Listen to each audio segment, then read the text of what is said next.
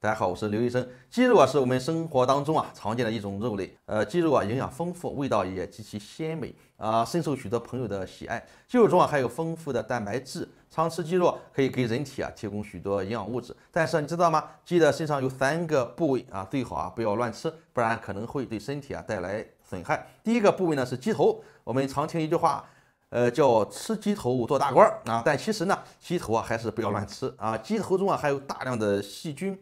和寄生虫，如果处理不到位呢，食用后啊会咱们身体啊带来影响。第二个部位呢是鸡脖子，鸡脖子上还有大量的腺体啊，也就是鸡皮下一粒一粒这种白色的这种颗粒啊，这个部位啊极易堆积毒素，所以啊建议大家如果要吃啊，一定要把脖子外面的这层皮啊啊和这个腺体淋巴去掉再食用。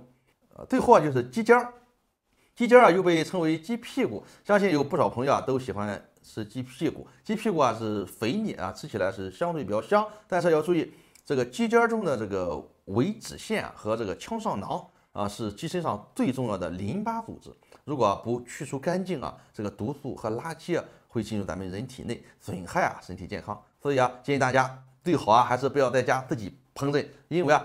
呃，有时候啊，你去除不干净啊，误食啊，在我们体内啊，对身体啊造成影响。以上就是这三个鸡身上尽量不要乱吃的部位。如果您觉得内容啊有用啊，不要忘记分享给你身边的朋友，让他们啊也注意起来。好了，今天的分享啊就到这里。如果你有健康方面的疑问啊，都可以点赞留言告诉我。我是刘医生，我们下期再见。